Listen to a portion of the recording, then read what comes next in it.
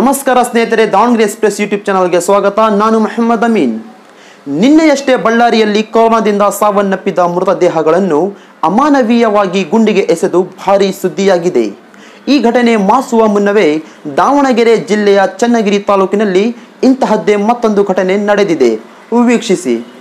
ಹೌದು ಪ್ರಿಯ ವೀಕ್ಷಕರೇ, ಚನ್ನಗಿರಿ ತಾಲೂಕಿನ ಕುಂಬಾರ ಬೀದಿಯ ಐವತ್ತಾರು ವರ್ಷದ ಮಹಿಳೆಯೊಬ್ಬರು ಕಳೆದ ಹದಿನೇಳರಂದು ಉಸಿರಾಟದ ತೊಂದರೆಯಿಂದ ಶಿವಮೊಗ್ಗದ ಮೆಗ್ಗಾನ್ ಆಸ್ಪತ್ರೆಯಲ್ಲಿ ಸಾವನ್ನಪ್ಪಿದರು. ಅವರಿಗೆ ಕೊರೋನಾ ಸೋಂಕು ಇರುವುದು ಕೂಡ ದೃಢಪಟ್ಟಿತ್ತು.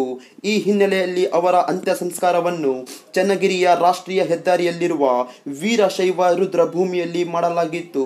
ಮೃತ ಮಹಿಳಾ ಶವ ಸಂಸ್ಕಾರಕ್ಕೆ ಅಧಿಕಾರಿಗಳು ಹಾಗೂ ಆರೋಗ್ಯ ಸಿಬ್ಬಂದಿ ಅನುಸರಿಸಿದ ಕ್ರಮವನ್ನು ಅಮಾನವೀಯವಾಗಿದೆ ಜೆಸಿಬಿ ಮೂಲಕ ಮೃತದೇಹವನ್ನು ಎತ್ತಿಕೊಂಡು ಹೋಗಿ ಕಸ ಬಿಸಾಕುವಂತೆ ಬಿಸಾಕಿ ಮಣ್ಣು ಮುಚ್ಚಲಾಗಿದೆ.